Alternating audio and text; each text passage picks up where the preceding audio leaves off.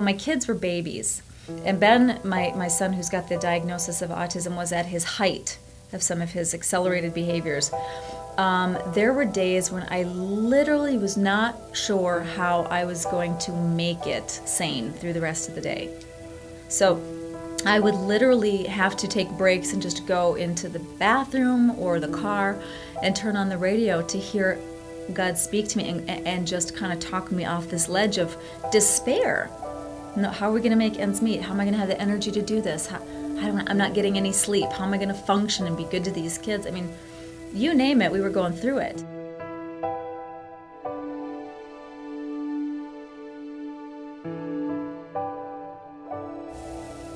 Thank you. Um, thanks, thanks for sustaining us.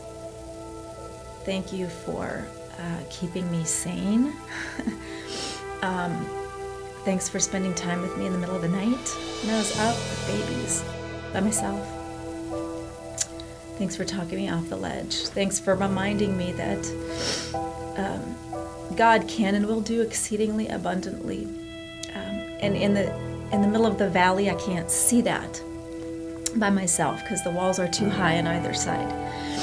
But thanks for extending your hand down into the valley and pulling me up so that I could have perspective to see that there's better and higher and greater ahead, that it we don't stay in the valley.